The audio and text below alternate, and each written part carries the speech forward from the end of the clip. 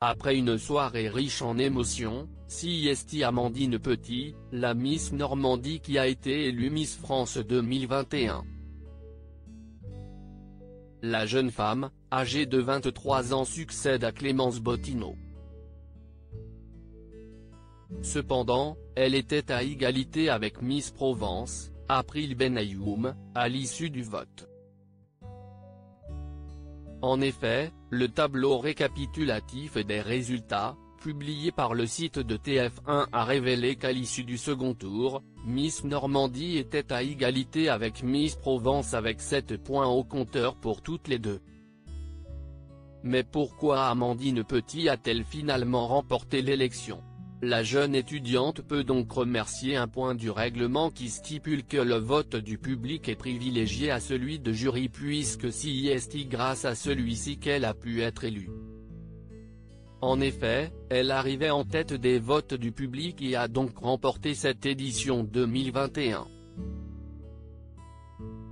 Quant à April Benayoum, Miss Provence, elle a été sacrée première dauphine, suivie par Miss Côte d'Azur, Lara Gauthier, la deuxième dauphine.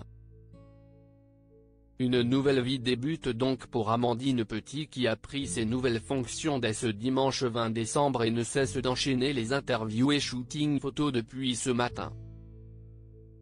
Si la jeune femme a expliqué dans sa story Instagram qu'elle avait perdu son téléphone depuis hier, elle a ensuite affirmé qu'il fallait lui faire confiance puisqu'elle assure qu'elle va le retrouver à un moment donné. Visiblement très fatiguée, mais toutefois très épanouie, la Miss France 2021 n'a pas oublié de remercier ses fans pour leur soutien, je vous remercie énormément pour votre soutien. Mille merci, a-t-elle déclaré. Une cérémonie marquée par les critiques si le centenaire de Miss France s'est déroulé sans problème majeur, celui-ci a cependant été très commenté par Geneviève de Fontenay. La dame au chapeau avait catégoriquement refusé d'y participer, déclarant que si est une mascarade au Figaro le 17 décembre dernier. En direct au téléphone avec le Parisien, elle n'a pas hésité à critiquer à nouveau la cérémonie.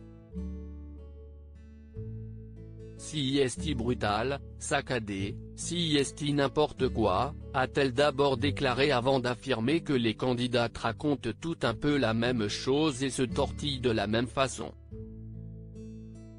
Il semblerait donc que Geneviève de Fontenay n'ait pas apprécié cette soirée.